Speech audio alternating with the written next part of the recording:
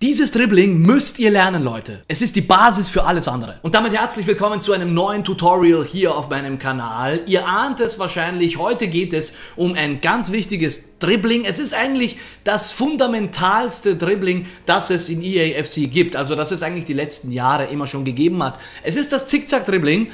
Es ist ein Tutorial, was ich jährlich mache und es ist ein Tutorial, was ich auch jetzt wieder machen möchte. Das hat den Grund, weil ich diesmal ein bisschen länger gewartet habe darauf und ich habe gemerkt allerdings, dass viele Leute noch Probleme mit diesem grundsätzlichen Dribbling haben, wie sie ihre Spieler bewegen. Ich merke das anhand dessen, dass mich viele fragen, wie ich so smooth herumdribble über das Spielfeld und vor allem im Strafraum und ich antworte immer gleich mit dem Zickzack-Dribbling und daran sehe ich, dass viele es noch falsch machen. Und wie genau es funktioniert und was ihr damit dann alles bewirken könnt, das zeige ich euch jetzt. Ich verlose übrigens auch diese Woche eine 50-Euro-Karte, Leute. Alles, was ihr machen müsst, ist mir auf Instagram zu folgen und dort das neueste Reel zu liken und mit Never Give Up zu kommentieren und eurer Wunschkarte. Viel Erfolg! Ihr seht, ich habe jetzt im Hintergrund einige Szenen für euch vorbereitet, um euch das nochmal zu zeigen, wie genau dieses Zickzack-Dribbling funktioniert und wie fundamental es wirklich ist. Also Leute, es ist die absolute Basis für alle anderen Dribblings. Ihr seht überall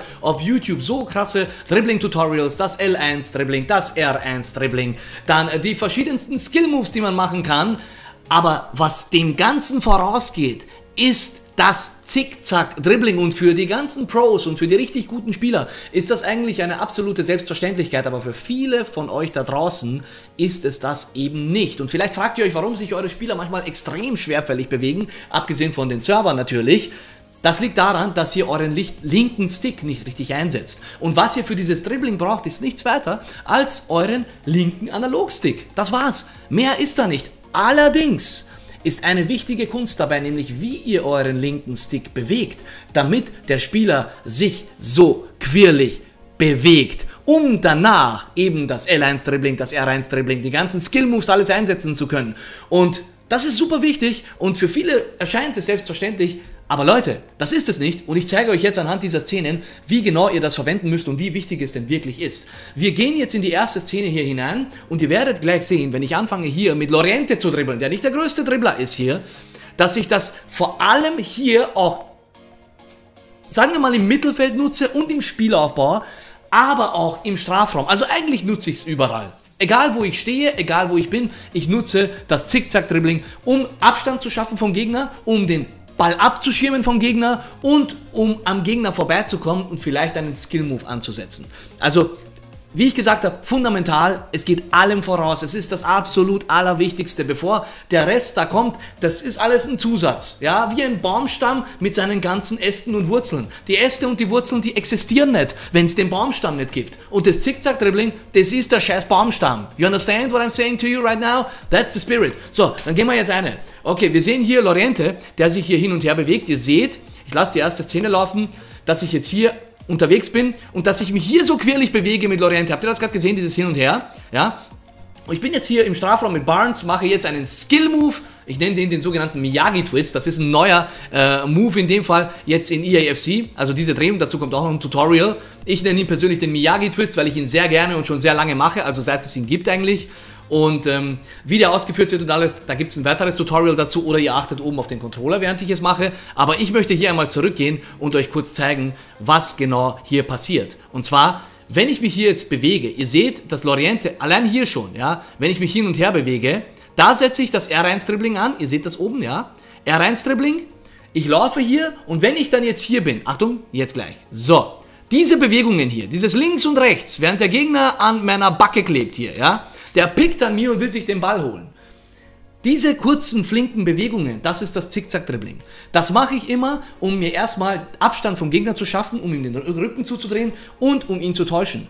Diese Täuschungsmanöver links, rechts, der Gegner kann dann schwer antizipieren, was ich als nächstes mache. Und deswegen mache ich das immer wieder gerne. Und jetzt kommt der Schlüsselpunkt zu dem Ganzen. Ich halte jetzt mal hier. So, wie funktioniert das Zickzack-Dribbling? Wir haben ja gesagt, linker Stick. So, aber was genau muss man machen? Einfach nur den linken Stick irgendwo hin? Hm, nicht unbedingt. So, was viele falsch machen, und das zeige ich euch jetzt hier kurz mal, ich springe mal eine Szene weiter hier. Ihr seht jetzt, was ich voll, gleich mit Barnes machen werde, hier im Strafraum. Das mache auch ich manchmal, wenn der Gegner sehr krass an mir, äh, auf mich drauf düst und ich mich schnell drehen möchte. Das hier, okay? Ich drehe mich jetzt. Habt ihr gesehen, dass diese Drehung ein bisschen klumpig war? Ja, der braucht 10 Jahre, denkst du, heute trink einen Kaffee und habt ihr immer noch. Ja, so, diese Bewegung war so klumpig. Warum? Ich, warum? Weil ich den Stick einmal um 180 Grad bewegt habe. Von oben nach unten. Na klar, dass er da zwei Jahre braucht. Ja, wenn ich den Stick also gravierend verändere. Von oben nach unten oder von links nach rechts. Und viele machen bei ihren Dribblings aber sehr kranke Bewegungen, wie zum Beispiel, wenn wir in Gradwinkeln reden. Also das ist jetzt von oben nach unten 180 Grad, ja. Bin jetzt kein großer Mathematiker, aber das, das kenne ich, ja. Also wir haben hier eine 180 Grad Drehung. Und was viele aber machen, ist auch so mindestens 90, über 90 Grad bis 180 Grad hin, also so 130, 140, 150 Grad, ja. Braucht man nicht übertrieben fein drauf achten, aber ihr wisst, was ich meine. Zu kranke Bewegungen in der Drehung. Und deswegen erscheinen die Drehungen klumpig. Ja? Ihr seht es auch hier, wenn ich mich drehe. Schaut mal, schaut mal die Bewegung hier, wenn ich eins zurückgehe. Achtung, so, klumpig, klumpig und jetzt schneller. Habt ihr es gemerkt? Die dritte Bewegung, die ist zackiger als die anderen Bewegungen. Zwei klumpige, eine schnelle. Ja? Und was genau geschieht hier? Ich möchte dazu sagen, ich mache auch manchmal klumpige Bewegungen. Es kommt immer auf die Situation an. Aber die meiste Zeit, wenn ich jetzt kann, vor allem im Spielaufbau und auch im Strafraum so gut ich kann, mache ich diese Zickzack-Bewegungen, weil das viel besser funktioniert. Der große Unterschied ist, wenn wir jetzt hier zurückgehen und ich laufe jetzt hier. So, ich drehe mich jetzt weg, klumpig. Ihr habt es gesehen, 180 Grad. So, schaut mal jetzt drauf, wie ich mich hier bewege. Ja, Schaut mal jetzt drauf, wie ich hier, den, der Stick kommt gar nicht hinterher mit der Geschwindigkeit, wie ich mich bewege. Auf jeden Fall, es geht darum, ich gehe jetzt hier lang und mache hier eine kleine Bewegung hierher und dann wieder eine kleine Bewegung hierher. Ja?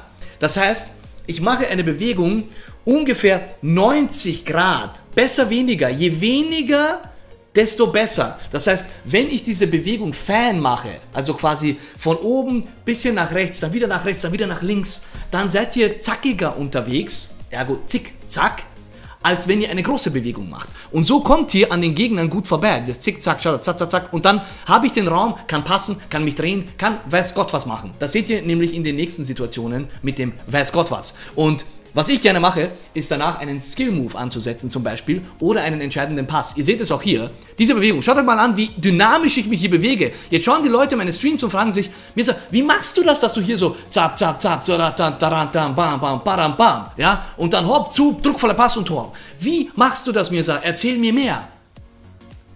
Und, und die Leute glauben, ich mache hier, keine Ahnung, verschiedenste Tastenkombinationen. Und ich so, naja, ich bewege eigentlich nur den linken Stick.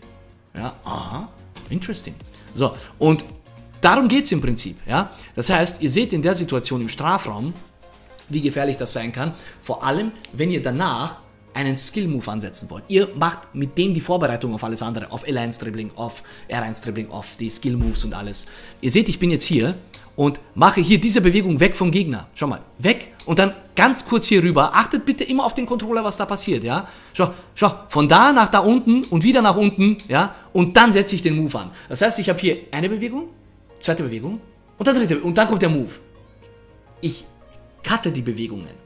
Und diese Fanheit bringt eben diese Beweglichkeit. Je beweglicher eure Spieler sind, natürlich mit krasserem Dribbling, desto krasser funktioniert es logischerweise.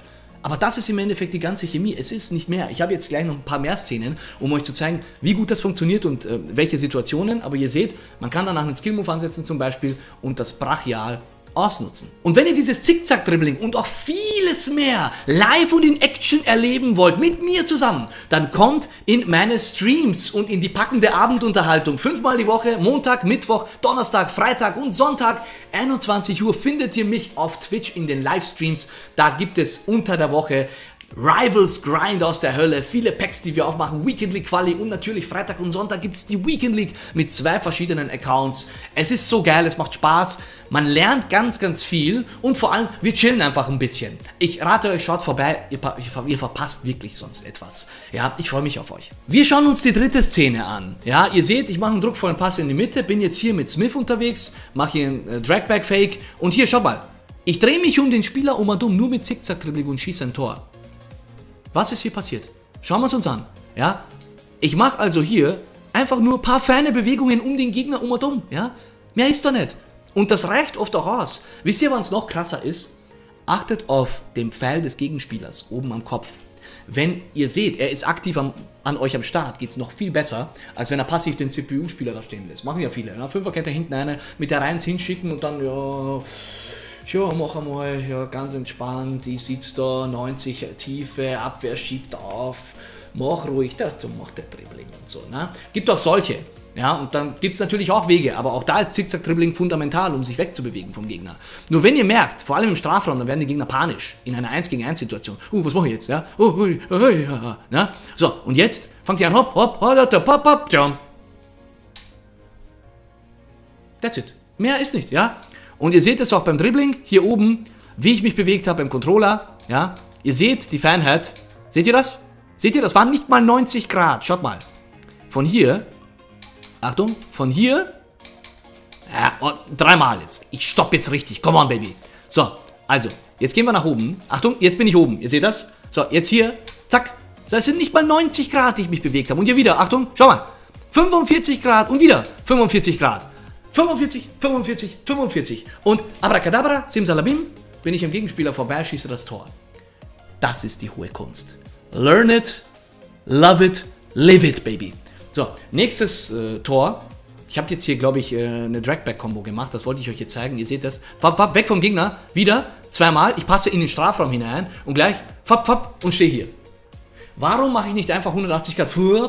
Weil ich dann wie ein alter Opa bin. Ja, auch mit Rodman bin ich halt eine alte Oma. Ja, das heißt, es bringt mir nichts, einfach nur nach hinten zu drücken, wenn ich in den Strafraum passe. Weil das braucht ewig und er kann mich dann pressen. Sondern ich mache 1, 2. Und jetzt bin ich hier und kann danach zum Beispiel einen Dragback ansetzen. Wupp, hab jetzt ein bisschen Pech natürlich, dass der Ball abgefangen wird. Nutze es dann richtig mit der Ballrolle, schieße das Tor. Aber beim nächsten Mal habe ich es jetzt besser gemacht. Schau mal, druckvoller Pass. Achtung, wieder weg und so.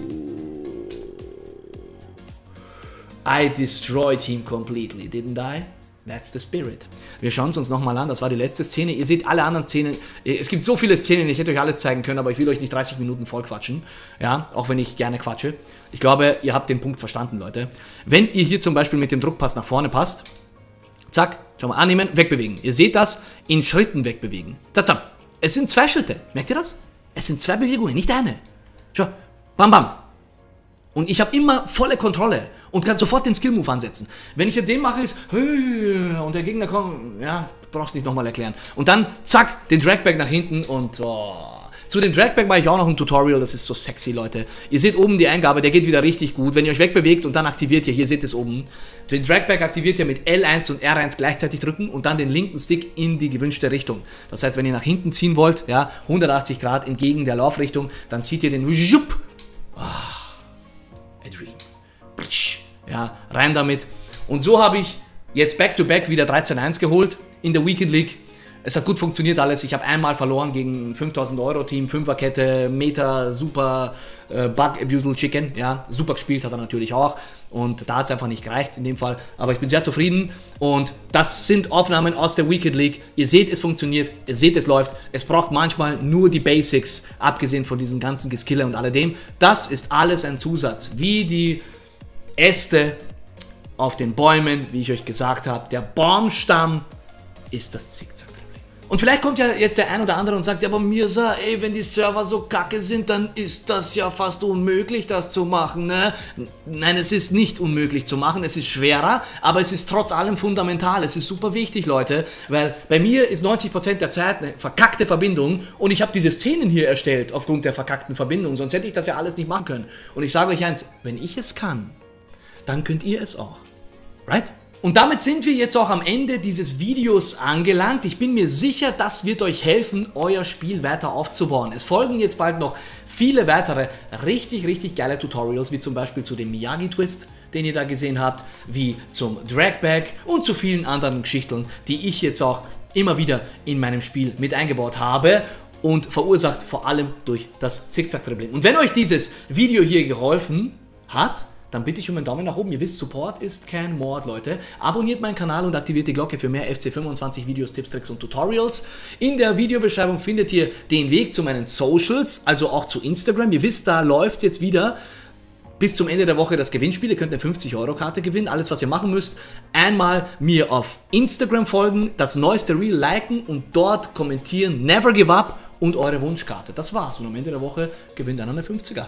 Ja? Und was ihr dort auch noch findet, ist natürlich den Weg zu den grandiosen, wunderbaren, supergeilen Livestreams. Baby, ja, und die machen richtig Spaß und sind sehr lehrreich. Fünfmal die Woche, Montag, Mittwoch, Donnerstag, Freitag, Sonntag, 21 Uhr findet ihr mich da in alter Frische. Ganz viel Action, ganz viel Spaß. Da müsst ihr selber dabei sein, um es zu sehen. Und immer wenn ihr dann zum ersten Mal kommentieren solltet, erstes Mal auch dabei sein solltet, dann sehe ich es, es wird dick und fett angezeigt. Das habe ich so eingestellt, damit ich euch herzlich begrüßen kann. Da können wir live dabei sein und ihr könnt mir Fragen stellen. Wie cool ist das denn? So, und jetzt höre ich auf zu quatschen. Ich sage danke fürs Zuschauen. Ganz viel Spaß beim Umsetzen und rockt die Bude. Das war's für heute. Und wir sehen uns wie immer beim nächsten Tutorial. Tschüss. Bis dann.